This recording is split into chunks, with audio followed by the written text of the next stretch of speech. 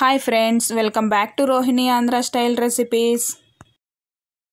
ఇవాళ మనం పచ్చి కొబ్బరి బీరకాయ చట్నీ ఎలా చేయాలో చూద్దాం. దానికి కావాల్సినవి చట్నీకి కావాల్సినవి బీరకాయ పచ్చి కొబ్బరి పచ్చిమిర్చి. పచ్చిమిర్చి ఎక్కువగా తీసుకోండి. ఎందుకంటే బీరకాయ స్వీట్గా ఉంటుంది. పచ్చి కొబ్బరి కూడా కొద్దిగా స్వీట్గా ఉంటుంది కాబట్టి పచ్చిమిర్చి ఎక్కువగానే తీసుకోండి.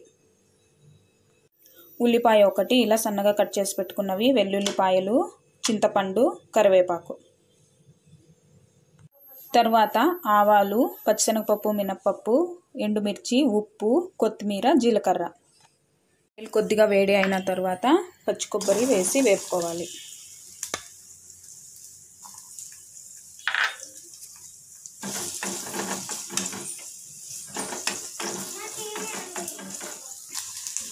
ఇలా లైట్ బ్రౌన్ కలర్ వచ్చే వరకు వేపుకొని తీసి పక్కన పెట్టుకోవాలి.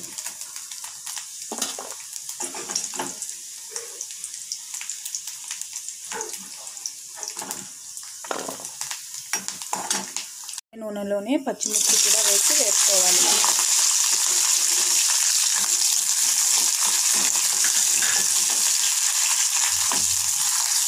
ఇలా పచ్చిమిర్చి వేగుతున్నప్పుడే బీరకాయ కూడా వేసి వేపుకోవాలి. పచ్చిమిర్చి ఇలా కొద్దిగా వేగిన తర్వాత జీలకర్ర కొద్దిగా కరివేపాకు వెల్లుల్లిపాయలు చింతపండు. ఇవన్నీ కూడా వేసి బాగా వేపుకోవాలి. ఇలా మొత్తం అన్నీ వేగిపోయిన తర్వాత ఒక్కసారి బీరకాయ కుక్ అయిందో లేదో చెక్ చేసుకుందాం. ఇప్పుడు కుక్ అయిపోయింది. స్టవ్ ఆఫ్ చేసుకొని చల్లారిన తర్వాత మిక్సీలో వేసుకుందాం. ఇప్పుడు కొబ్బరిని ఒకసారి గ్రైండ్ చేసుకుందాం.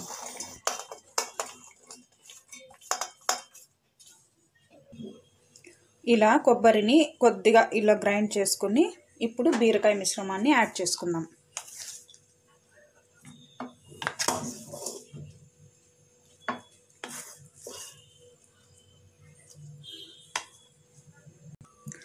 ఇప్పుడు వేయించుకున్న బీరకాయ పచ్చిమిర్చి వేసుకున్నాం కదా దీన్ని కూడా ఒకసారి గ్రైండ్ చేసుకుందాం. ఇలా గ్రైండ్ చేసుకున్నాం కదా దీనికి ఇప్పుడు పోపు వేసుకుందాం.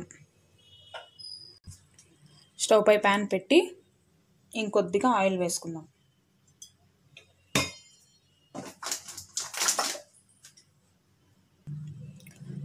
నూనె కాగిన తర్వాత ఆవాలు వేసి చిటపటలాడనివ్వాలి. ఆవాలు వేగుతున్నాక ఇప్పుడు పచ్చిశనగపప్పు మినపప్పు వేసుకుందాం.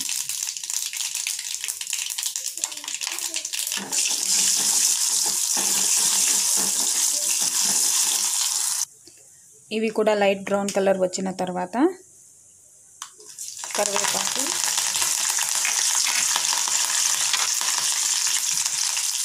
ఎండుమిర్చి. ఉల్లిపాయ ముక్కలు కూడా వేసి వేపుకోవాలి. ఉల్లిపాయలు ఎక్కువగా వేగనివ్వద్దు. జస్ట్ లైట్గా వేగితే చాలు. ఉల్లిపాయలు ఇలా వేగితే సరిపోతుంది. ఇప్పుడు బీరకాయ చట్నీ వేసుకుందాం ఇందులో. ఈ చట్నీ మీరు గ్రైండ్ చేసేటప్పుడు కొద్దిగా వాటర్ యాడ్ చేసి గ్రైండ్ చేసుకోండి. ఇప్పుడు ఇందులో ఉప్పు వేసుకుందాం. ఉప్పు గ్రైండ్ చేసేటప్పుడు కూడా వేసుకోవచ్చు ఇప్పుడు కూడా వేసుకోవచ్చు.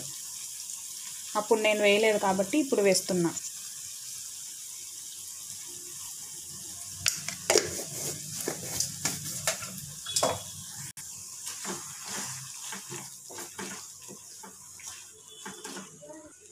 చట్నీకి పోపు మొత్తం కలిసే వరకు కలుపుకొని కొత్తిమీర వేసుకొని స్టవ్ ఆఫ్ చేసుకుంటే సరిపోతుంది.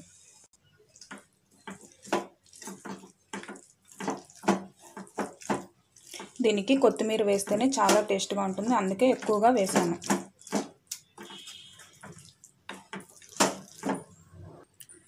ఇంతే బీరకాయ పచ్చి కొబ్బరి చట్నీ రెడీ అయిపోయింది. ఇప్పుడు సర్వింగ్ ప్లేట్లోకి తీసుకుందాం. ఎంతో సింపుల్గా ఫాస్ట్గా అయిపోయింది. బీరకాయ పచ్చి కొబ్బరి చట్నీ. ఈ చట్నీ రైస్లోకి కానీ చపాతీలోకి కానీ చాలా బాగుంటుంది. మీరు కూడా ట్రై చేసి ఎలా వచ్చిందో కామెంట్స్ రూపంలో షేర్ చేయండి. నా వీడియో కనుక మీకు నచ్చినట్టయితే ప్లీజ్ లైక్ చేసి మీ ఫ్రెండ్స్ అండ్ ఫ్యామిలీ మెంబర్స్కి షేర్ చేయండి. అలానే నా ఛానల్ని ఎవరైనా కొత్తగా చూస్తున్న వారైతే సబ్స్క్రైబ్ చేసి పక్కనే ఉన్న బెల్ ఐకాన్ని యాక్టివేట్ చేసుకోండి. Thanks for watching my video.